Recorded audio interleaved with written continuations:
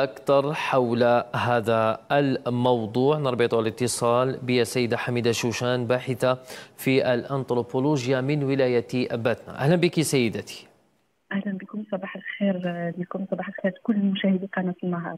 أهلا بك. إذا انطلاقا من تصريح رئيس الجمهورية بأن النظام الاجتماعي تجمعت مثال للديمقراطية التشاركية في تسيير الشأن المحلي. ما دور هذه المجالس المحلية التقليدية في حل مشاكل الناس والنزاعات الداخلية. نعم. آه، هو نظام تجمعت هو نظام آه، قديم يعني من أقدم التنظيمات. آه، يعود إلى عدة قرون يعني كان تم إنشاؤه بسبب رفض المجتمع التعامل مع المحتل والخضوع لقوانينه. كما أن النظام تجمعت هذا هو مجلس إدارة تقليدي نجده بالخصوص في القرى والمناطق الامازيغيه في الجزائر. يضم عقلاء وأعيان وحكماء المنطقة.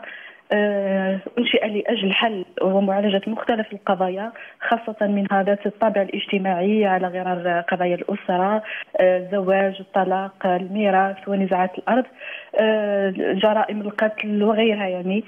كما أن هذا النظام هو مؤسسة قبلية عرفية.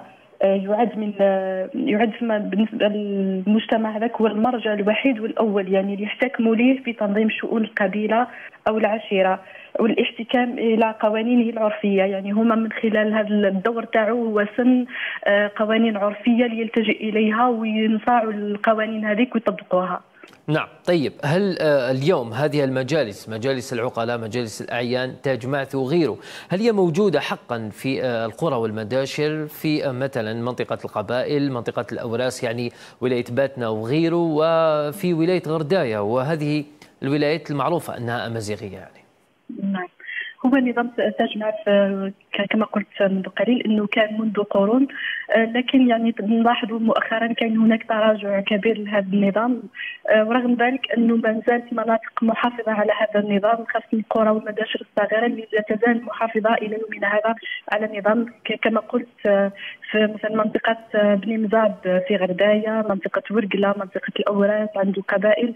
مثلا في منطقة الأوراس لا يزال هذا النظام ساري في معظم المناطق خاصة منها الجبليه التي لا تزال تحافظ على نظام تجمعات آه، يعني نحن على مقربة من إحياء آه، سوق عيد الخريف المعروف في منطقة تكوت بولاية باتنا. يعني هذه المنطقة لا تزال تحافظ على نظام تجمعات من خلال يعني هذاك السوق ليس فقط للالتقاء وتبادل السلع ومختلف المعروضات بل أيضا لحل نزاعات العالقة. يعني كاين نزاعات عالقة منذ سنوات خاصة متعلقة بالأرض والميراث يتم حلها في ذلك السوق. يعني ما زالت محافظة على هذا النظام هذا.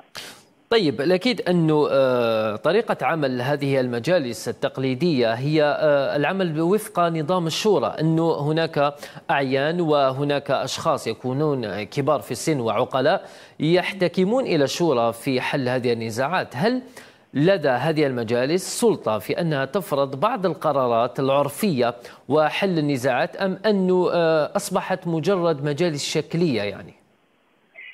يعني لم لم تعد مجال الشكليه فقط لأنه لها دور كبير يعني ما زال عندها الدور هذا لأنه هذه المؤسسة الحاكم على مستوى القرية أو العشيره مثلا. يعني تجمع بين السلطة السياسية السلطة الإدارية إلى جانب السلطة القضائية. يعني في سن تلك القوانين والالتزام بتطبيقها مثلا تكون عملية سرقة أو عملية اعتداء على أرض ولا اعتداء على شخص.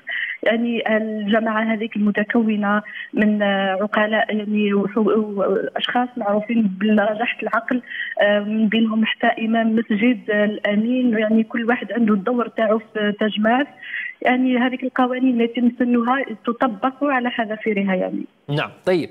الأكيد أنه لهذه المجالس جانب آخر وهو جانب تطوعي جانب تكافل اجتماعي من خلال ربما جمع أموال تزويج الشباب وبعض المظاهر كالوزيعة والتويزة وغيره.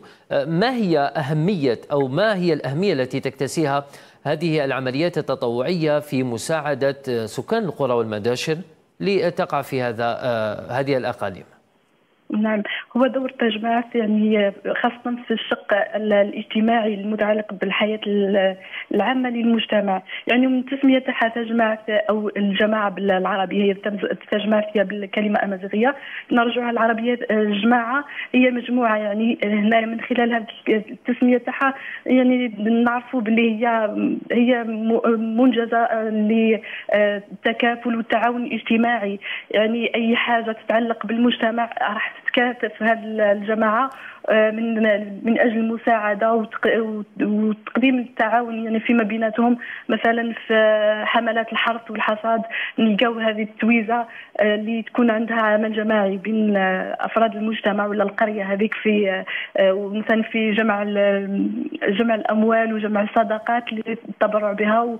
ويعني مساعدة الشباب في الزواج في مثلا يكون في الجوائح المختلفة مثلا حرائق ولا يكون حريق يتم كامل تاع القرية هذيك ويعاونوا هذاك الشخص باه يعوضوا له الخسائر تاعو. طيب هل آه، تراجع دور هذه المجالس مجالس الأعيان مجالس العقلاء تجمعات وغيره في هذه المناطق هذه الولايات اللي فيها قرى ومداشر وفيها مشاكل تعتبر آه، هي مشاكل بسيطة بالنسبة لحجم المشاكل العالقة في آه، المحاكم ومجالس القضاء. هل اليوم ارتفاع عدد القضايا المتنازع عليها يعود آه، بالأساس إلى عدم الاحتكام إلى هذه المجالس التقليدية؟ ويمكن ربما الفصل في العديد من القضايا يعني بطريقة عرفية وبطريقة يعني ما بين المتخاصمين. نعم. هي رغم أنه القوانين العرفيه اللي راهي سارية في هذه التجمعات إلا أنه احتكام إلى المحاكم اليوم يعني نشوفوا باللي المحاكم اليوم تعج بالقضايا حتى وتكون تافهة يعني تكون بين جار وجاره آه، يعني حاجة يمكن معالجتها محليا يعني دون الاتجاه إلى القضاء. إلا أنه اليوم بسبب تراجع آه، التجمعات خاصة في المناطق الحضاريه آه، أصبح يعني الاتجاه إلى المحاكم أكثر من الاتجاه إلى التجمعات رغم أنه يمكن تلك القضية حلها في زمن وجيز يعني في تجمعت يعني في مدة مثلا ربع ساعة ويتم حلها وديا وبطرق سلمية آه، بدل الالتجاء إلى المحاكم ويعني والانتظار وتأجيل وما يشهده ذلك من القضاء. طيب شكرا لك سيدة حميدة شوشان باحثة في الأنثروبولوجيا من ولاية باتنا شكرا لك على كل ما قدمته خلال هذا الموعد الإخباري